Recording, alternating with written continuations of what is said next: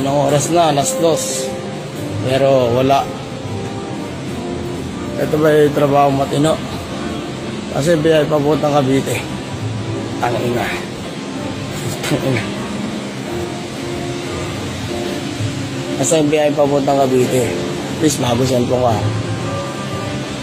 Ang dami sablay dito sa kumpanya. Isang taon na pero sablay pa rin. Ang ina. Sa Cavite po, Oh. bali sir kasi po yung Oo. usually yung mga biyahe po is 11 to 12 p.m. po. Bakit niyo po pinipili? Ganun talaga. Para malaman natin sablay yung trabaho nyo. Diba? Hindi naman po sa kayo, sir. Ang first trip po natin is 5 a.m. Wag Eh, po ba't kami tingnan mo? wala po kayong karapatan sa nagtunan, sir. Hindi, karapatan ko to public to, di ba? Hindi po ito public, sir. Ano po ito? Private. PPP po, public-private partnership, sir. Wala akong pakialam. Ang importante rito, dapat dito, ganitong oras, dapat nandito yung biyahe papuntang Cavite.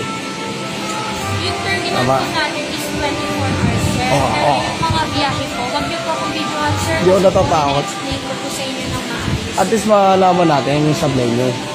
Hindi naman po sablay, sir. O, hindi ibig sabihin, sa trabaho, may sablay.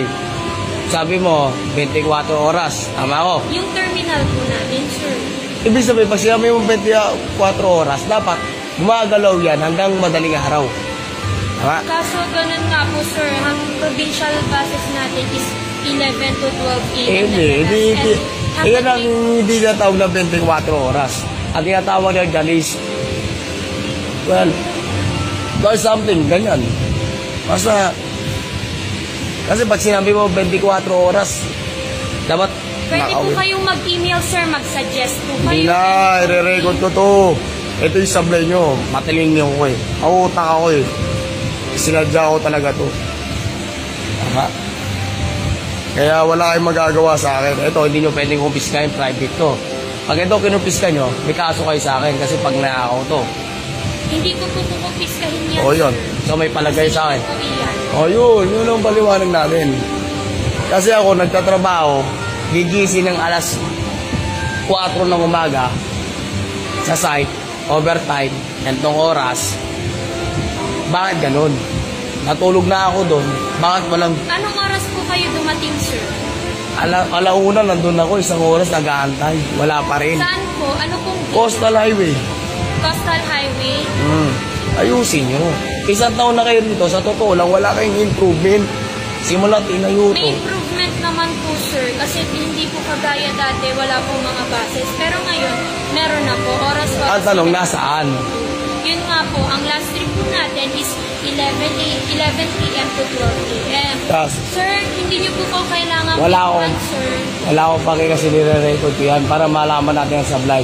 Pag ako din ang bot, may record ako. Hindi naman po sablay ang PTEX natin. Sablay talaga. Sablay. Isang taon na wala kang improvement. Yun lang yun. Tama na. Sige na. Wala pa po isang taon ng Sige na. I-record sa Facebook daw. Maganda kayo. Bobo. Biniro. Wala sinabi ko na joke lang yung hindi ko pag video. Kubagat ka agad. Tanga. Kung ako hindi ako papayag eh. Time check to 2.45 in the morning. Wala eh. Sablay eh. Kanina pa ako ngayon eh. Walang wala. Hindi lalab. I-upload ko to. Ganyan ako utak. Bobo pala sila eh. Ganyan na tayo na boy. Relax lang.